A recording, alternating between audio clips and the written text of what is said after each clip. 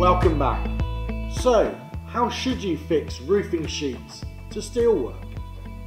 You could drill a hole through both sheeting and steel, push a bolt through and attach a nut on the back, or you could use a fixing from our self-drilling screw range. Traditional methods are fiddly, time-consuming and often don't last very long. So to easily achieve a rapid, watertight and long-lasting fix, you should be using our self-drilling screws. They're available with two different drill tips, depending on the total thickness of the steel that you need to drill. If it's up to 5mm thick, use a light section screw. And if it's up to 12mm thick, use a heavy section screw. The 110 degree hardened tip is designed to penetrate through the steel with as little effort as possible, creating a clean hole for self-tapping thread to work.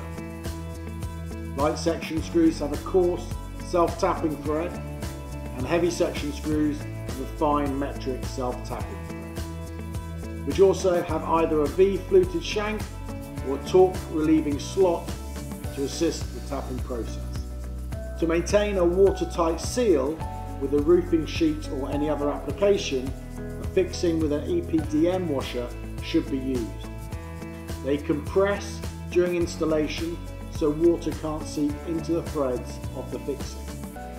You shouldn't use a fixing without an EPDM washer if the screw is exposed to rain and other corrosives, as rusty streaking will appear quickly and ruin the aesthetics of the application.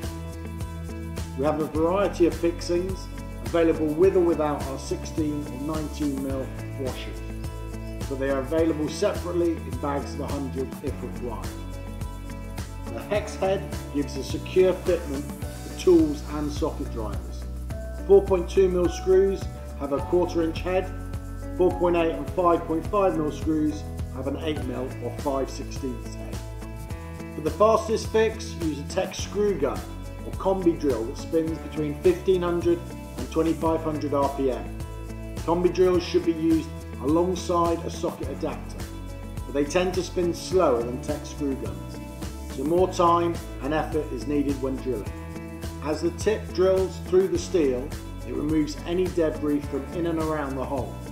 It then starts the tapping process until the fixed washer clamps to the application's surface. We offer our screws with either a bright zinc plating or, for increased corrosion resistance, exterior plating with over a thousand hours salt spray testing. But if a more weatherproof and discreet finish is required, you can use one of our hex cover caps, available in a variety of colours to match either your cladding or roofing sheets. In addition to bright zinc and exterior plating, we now have a range of stainless steel bimetallic screws.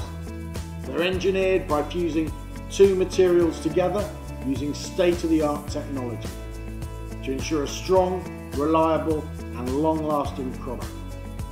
They combine the ultimate corrosion resistance of A2 stainless steel with the exceptional drilling performance of a hardened carbon steel drill tip, making them suitable in extreme conditions such as coastal and industrial areas. To guarantee a secure fixing, it's also important to select a screw with the correct length. So, depending on the type of application, thickness of steel, and whether or not there is any insulation between the two, ensure that the drill tip has passed through the supporting steel. For a full breakdown on selecting the right screw for your application, or if you're fixing composite roofing panels to steel, please see our website, where you'll be able to find further technical info on this range and other Timco products. Thanks for watching and see you next week.